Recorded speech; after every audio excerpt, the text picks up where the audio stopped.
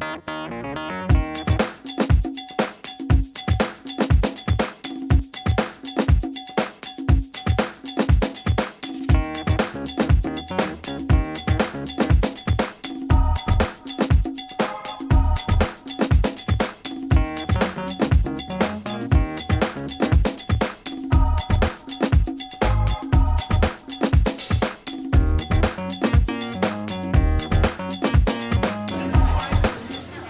have taken the Soho International Film Festival to the streets.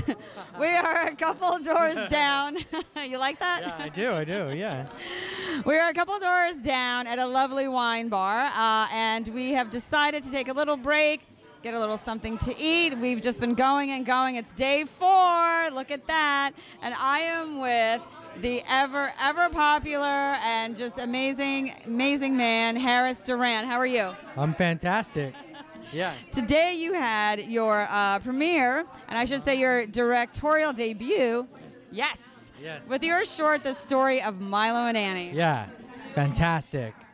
Yeah. It was pretty packed in there. Yeah, it was a great audience. It was so cool to see like so many people there supporting the film and you know, it's such great reactions. It was really a fantastic experience. Yeah, I mean, and it's so great. Um, I, I think you had told me something about uh, one of the people involved uh, was involved with the uh, autism people. Danny Faith Leonard, my uh, lead producer, her mother has worked with a lot of autistic children. She's a teacher, and so she was a resource during this film because the the story follows this girl who meets this guy who hasn't spoken since he was six years old, and oh, something's happening back there, uh, and her like fantastical adventure to discover why that is. And I, you know, I think that's so great because there's so many people that have autistic children, and um, you know, they they haven't found a cure yet for it. So you're really raising, you know, even more awareness, you know, through telling the story through film. Yeah, and the story speaks to that, you know, seeing someone for who they are despite what they seem, and seeing, looking deeper and taking the time to like look a little closer, is really what the movie is about. And you know, I have to say, um, personally, I enjoyed you in it because of the fact that um, last year Harris was in a film called Junction that was here at the Soho uh, International Film Festival, where he played a meth addict, and he played such a good one. Uh, it's it's just really funny. And then in this role, you were just so um, innocent is the only word I could think of. Yeah, yeah. It's cool to be able to play such different things, you know? I mean, I think it's the joy of being an actor is being able to be different people. You know, I can be me all day long. I don't want to do it on screen, you know? That's right. I mean, look at Johnny Depp. His diversity is so spanned, and I, I think you're headed in, in the same direction that, that he went. I'm telling you. Thank you. Thank you. Is that a compliment? Yeah, it is. It very much is. Yeah, thank you. It's kind of how I see you, actually. Thanks. Yeah. Yeah, and I didn't see that for Johnny back in the day, you know, when he was starting out on 20 Jump Street. Street. Yeah. exactly. So, you know, um, now, uh, also people should know, besides having the film festival going on in the middle of everything, tell everybody where you were last night.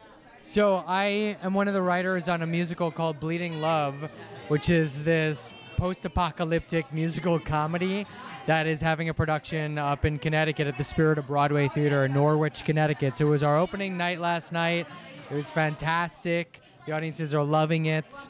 Um, it's this kind of magical fairy tale uh, that, uh, yeah, if you find yourself in Norwich, go see it. Yeah, so he's a very, very, very busy boy. Uh, what else do you. You see the bags? Tired. No, you look great actually for being tired. Thank you. I'm just saying, you cannot tell. But tell everybody else. So, what else do you have coming up? I know you have a lot of projects you're working on.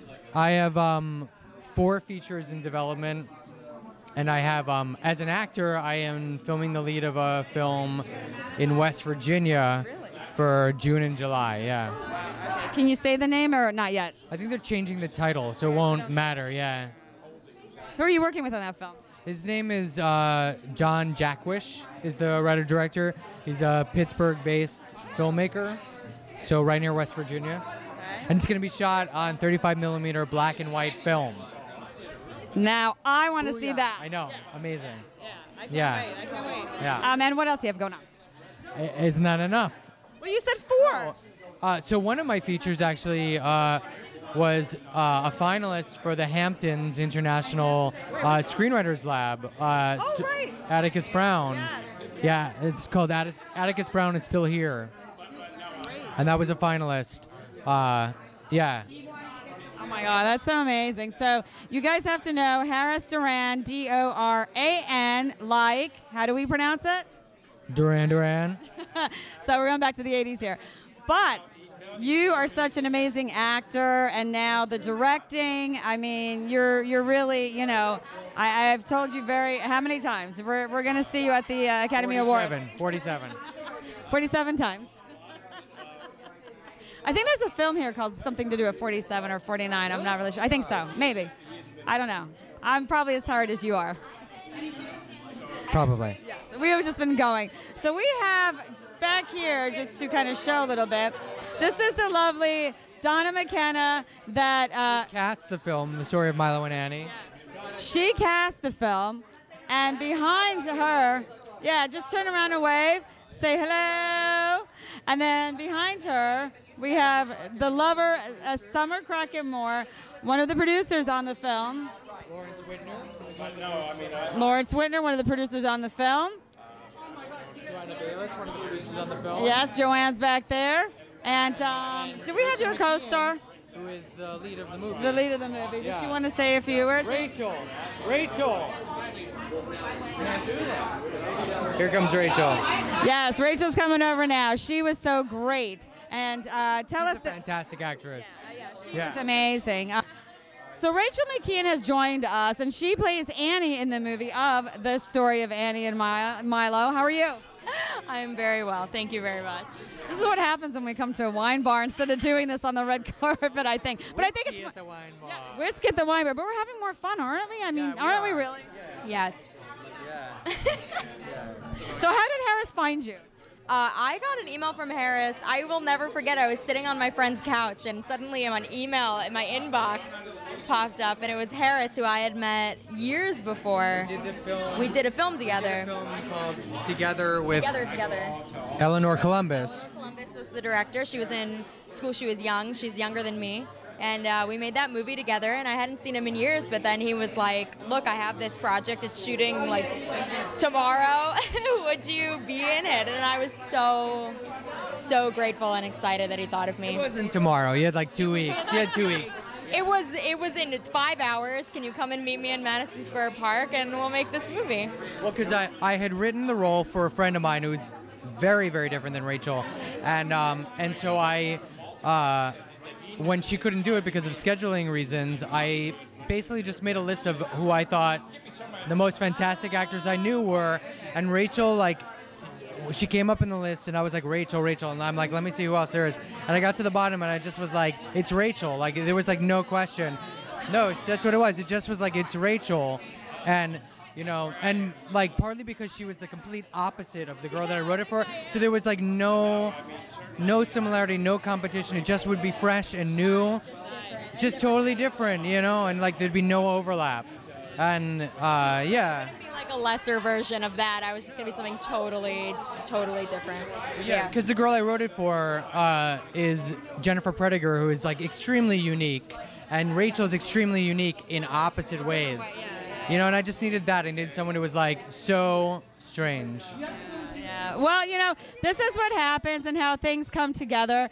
When you make a movie, sometimes you have things planned out for somebody Yeah. and then it goes a different way, but I think that everything happens the way that it's really supposed to happen. Absolutely. You know, so, you know, you were so great, so great in the movie. And um, what do you have coming up?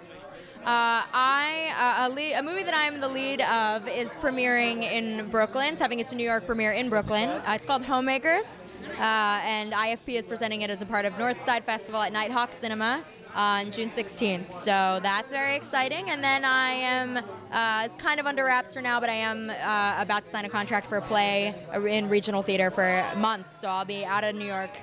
For a while. Very exciting. I love leaving New York. oh, look at that. Most people say I love coming to New York. She loves leaving New York. I love that. She is she is different. It's Donna McKenna, everyone. It's Donna McKenna. We're at our after premiere premiere, world premiere party of the story of Milo and Annie. So we're finally relaxing now because we know everybody loved the movie, and you did. Very packed, very packed house. proud. And I have to say something to everybody out there. Listen, don't wait for the phone to ring. You are talented. Make your own work like this man did. Make it happen. Take your dream and make it happen. And you will get noticed, right? Yeah. And you did it, and I'm so proud of you. And you are an example for everybody out there. And you should be really proud. Thank you. And I don't want to hear bullshit from people like, I got no work. Well, you know what? Pick up a camera. Pick up a camera, write, and create a story. Yep. Make your own work, blaze your own trail, just like Harris Doran did over here. so Don't wait that's for it. right. That's right. Well, I thank you guys so much for taking some time out from the lovely party here at our, our, our little Soho on the road. No, I'm just kidding. and uh, when we come back, we're going to have more from the Soho International Film Festival. And I really know that we will be having more coming with Harris Doran.